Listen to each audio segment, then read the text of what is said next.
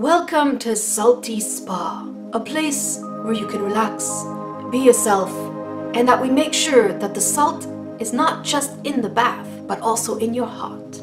Hey Greens, welcome back to Cash or Trash, a show where we pretty much explore at least two or three or more craft kits to see whether or not they are worth it. And the theme for today's kits are going to be spa. At least that's what I think spa is in my head. I've never been to a spa before. I should have a spa day. The first kit we're going to start with is a DIY candle kit, you know, to set the mood when you're starting to relax in the bath. And then we're going to make our way towards soap and lash mixology kit. I have no idea what they even mean by that. And then the last thing we're going to take a look at is a weird squishy soap kit. I have no, what is, what is a squishy soap, please? I know squishies are totally in right now, but what is the soap version of it? Guess we'll find out. For those of you who haven't subscribed yet, we are so close to 1 million subscribers! So make sure that you do subscribe, and if you are already subscribed, spread the word of the salt. I would definitely love to get there anytime this summer. At this point, I just gave up. I wanted it to... Uh, let's, let's just, let's just get there. Our first product is this STMT, which stands for Simple Trendy Modern Touch. That is a really weird name to call your product and this one costs about $18. One of the things that is pretty disappointing about this kit is that for $18, we are only able to make two candles. So already in terms of money worth, it's questionable. But wait, just wait. Is it fun and is it worth it? Sometimes the activity can take long and it can be enjoyable and be like, hmm, this is actually quite enjoyable. I do quite like it. And then sometimes you pay so much money, you're like,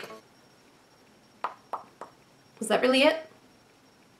So according to this kit, we get three fragrance droppers, a pen, two candle tins, and a recipe card. Apparently there's also sticker labels. All right, enough diddly did diddly, did, diddly, did, enough talk. Let's get to the point and let's see what we get inside.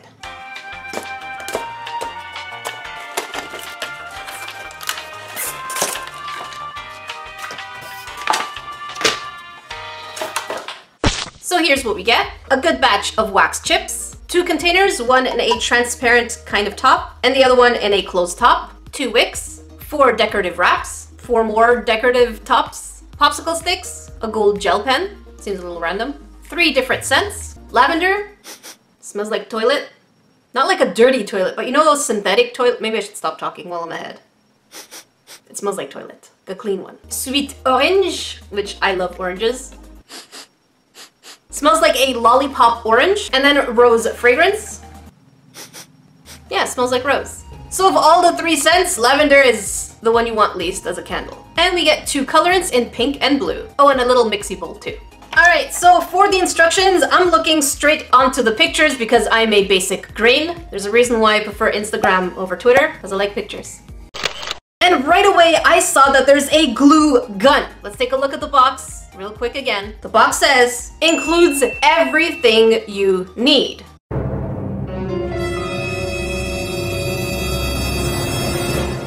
Looks like we're starting off on the wrong foot. I mean, Zen mode, breathe in, breathe out. Alright, so while my glue gun is heating up, whoa, oh, oh, what is that? It feels like glue. So this thing on the inside is kind of like a scrapey glue. I think I'll use this tin because I might use the other one for another project. All right, so let's put our little glue over here and plop it right in the middle. Like a so. According to the instructions, I should take a microwave safe bowl and then put the wax chips inside. My biggest problem with this is that we're going to be left with unmelted wax stuck to the bowl. And my worry is that I'm going to have to wash it down the drain to try and get it unstuck, remelt it again, and all that stuff. So I don't want to put our waters at more risk, so I'm going to be using recyclable cups. That way, at least I don't have to wash anything down the drain. I know, one way or another, something, something, but you know, we do our best. So I went ahead and followed the instructions by putting half the bag of the wax chips in the cups, microwaving them for two minutes, stirring it, and then microwaving, microwaving it again for another minute. Word of warning, do not use any kind of cup because I smelled fire and this is what happened. So I'm going to switch into a microwave safe bowl and hopefully we don't get any kind of reaction from that. So here it is after two minutes. It doesn't seem to have melted at all. I'm gonna put it in for another minute and then see where we're at. Here it is after three minutes. Not a trace of melting. All right, let's see what it looks like at minute five. And here it is at minute five. Absolutely nothing is going on over here. Because I'm a curious little fella, I'm going to keep going until minute 10 just to make sure that some of you aren't saying, Jackie, you're just not giving it enough time. Your microwave may be too weak. The answer is No, no. I shall do it.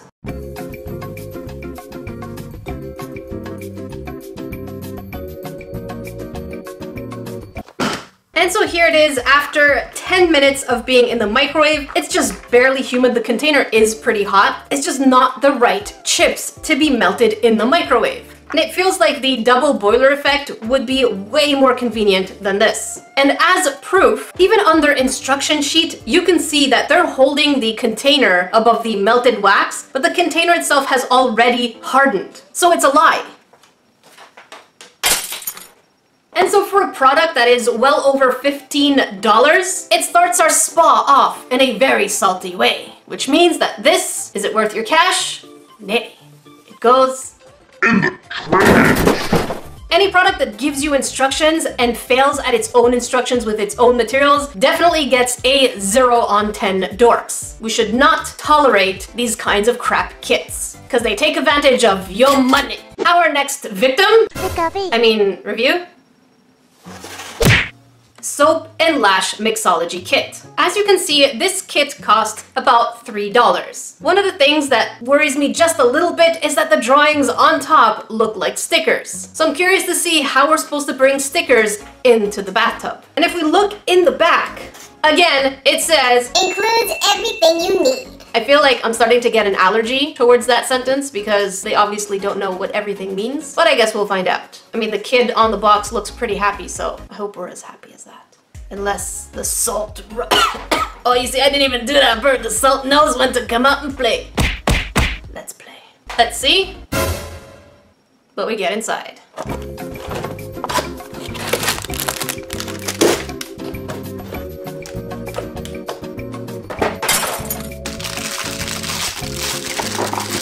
Here's what we get inside. A mold with really bumpy and lumpy shapes. Two soap cubes. I hope they're just easy glycerin. Two extremely weak colorants. I mean, there's barely any color in there. It almost looks like mouthwash. Two different ropes. Some sticker sheets. I called it. Oh no. Oh no. They give us glitter. Let's check the ingredients real quick. So for the glitter, it says aluminum powder along with all, the, all these other things. But just so that you're aware, any glitter that has aluminum powder should not go into your bathtub. These things are environmentally dangerous. Companies should really stop including powders and different kinds of glitters that shouldn't be going in the ocean. We need to look after our environment, dudes. Come on. So obviously this is not going to go in the soap. Use it for resin. And again, it says before you begin, you need a microwave safe bowl, not included. I called it. It's not everything you need. All right, so now we need to cut our soap in half. Again, they didn't put any indents on the soap because they gave us Everything we need. So here they are cut in half and they said to put it in for 30 seconds. Good news is the soap actually melted. So now they said to put it in the molds first and then add the colorant. So let's let's do that quickly. Alright, so let's add the colorant just so your grains are aware of the difference in the color. Here's the colorant that they give us versus the colorant that came in the candle kit. I highly doubt it's gonna be as nice as the box, but what do I know? Wow, there's like no color in there at all. They don't even give us any scent. I just realized. Let's go crazy and add a little bit of every color. That's a great idea. I- I'm with that. Alright, so here I go mixing. There is no color. This one is barely blue. Look at that.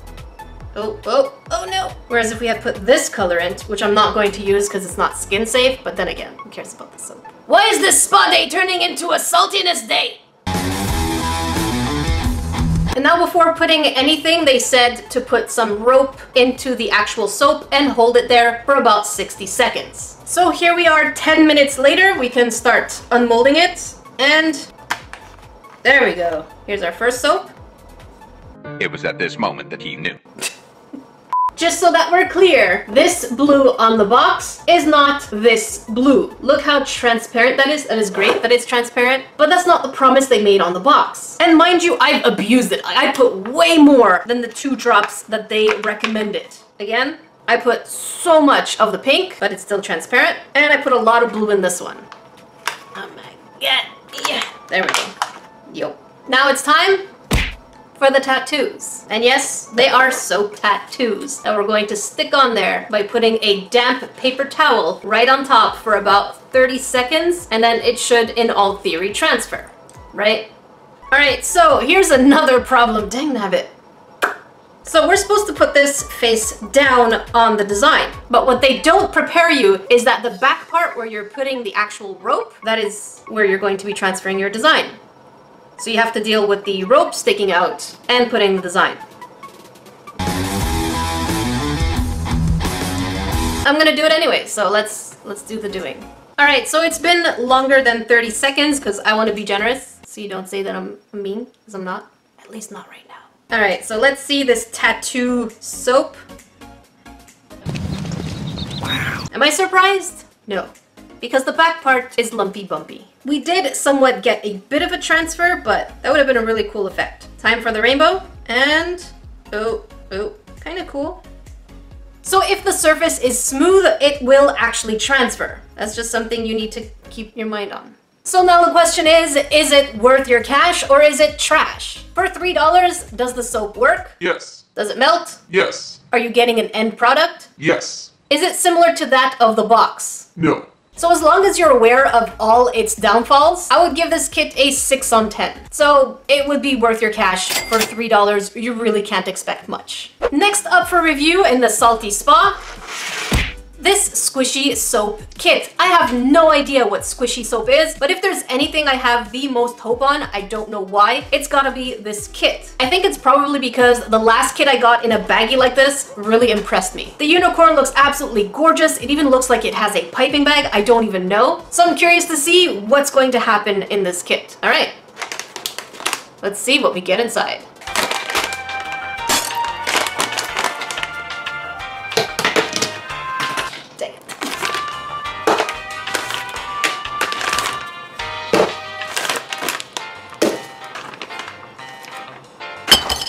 As you can see from Toys R Us Canada, this kit is $9.99. We get a pack of rice flour, a mold, ah dang it. I was really hoping we would decorate it, but I guess this is another transfer, and instructions.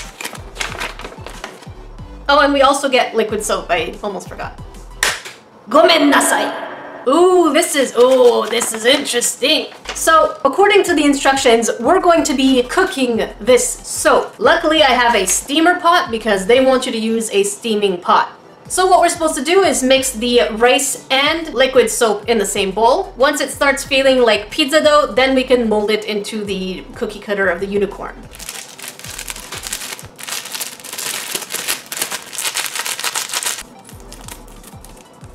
So far, this smells like a really sweet berry. It's not too invasive, but it's just, it smells really good. So here's hoping so far, this might be a pretty good one. Fingers crossed. All right, I can't seem to turn on my face camera just because my hands are so dirty. So what we're supposed to do is just cut it from this shape and then that's, that's pretty much it. Then we throw it into the steamer. And they do say if it's a little too cracked, you can take some water and smooth them out before steaming it.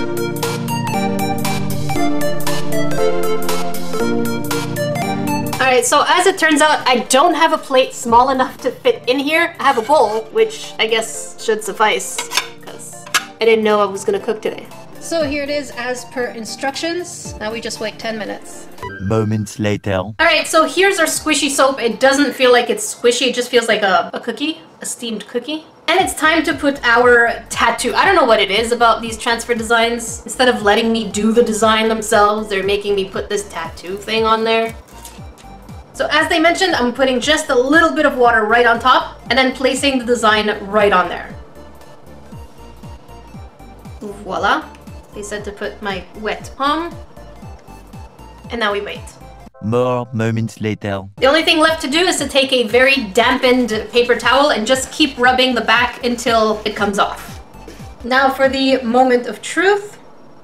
And that is one pink unicorn. I do have to admit, I am impressed that it actually stuck on the soap. But according to the package, this should have been a white unicorn and not a transparent one like we have over here. All right, let's see the soapiness of it in the water. I'm not going to use this just yet because I made a second one with the leftovers. And the first question is, is it squishy? I mean, the package itself is selling on the fact that it's a squishy. So here it is.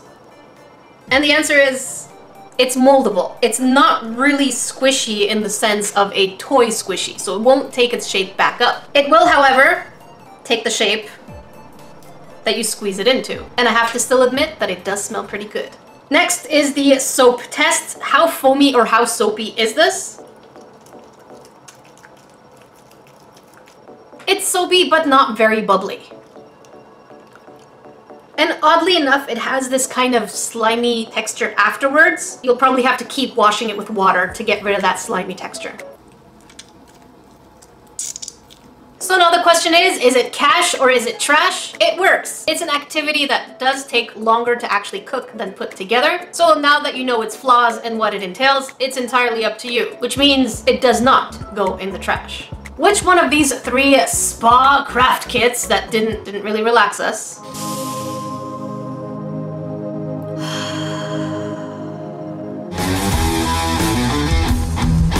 one of these three did you have the most hope on? Let me know in the comment section below. Before I begin shoutouts, my friend Casey Golden is so close to 1 million subscribers, so go ahead and give her some love. I'll add her link in the description box below. Today's shoutouts go to Addison Ward, Chloe Cantillon, Creative Kara, It's Drawing Time 12534, Malaysia Diamond, Helser JM, Kiki Draw, Falling for Art, Foxtrot, I love that you combined both Delightful and my creations, and Dark M94 and Babies. You okay, Angel? He's still scared of the lighting. Remember, if you want a shout out in any of my videos, they are random, hashtag notification Squad in the comment section below within the first 5 hours of a video's release.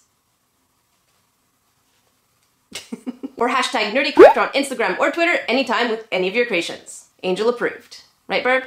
If you wanted to watch the previous Cash or Trash, make sure you check up here. And if you want to watch a YouTube video that it thinks is just right for you, make sure you check down here. Until then, I will see you grains in the next video.